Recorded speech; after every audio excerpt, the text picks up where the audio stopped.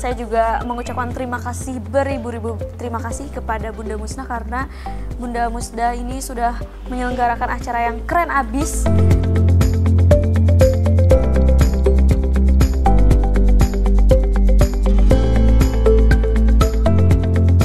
Saya juga merasa resah di lingkungan saya sendiri yakni di sektor kemanusiaan dan kesetaraan tapi tentunya jika kemanusiaan sudah selesai seharusnya kesetaraan pun harus sudah selesai ya dan juga yang paling penting adalah soal menguatkan diri kita sendiri karena banyak eh, perempuan-perempuan uh, yang masih insecure, masih tidak percaya diri dan belum menghargai dirinya sendiri.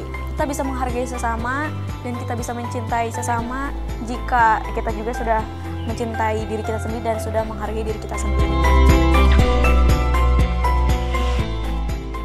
Yuk kita bareng-bareng, kita sama-sama saling bantu berdiri dan menguatkan satu sama lain. Karena woman supporting woman itu adalah kunci dari sama-sama kita kuat dan sama-sama kita bisa mendobrak patriarki.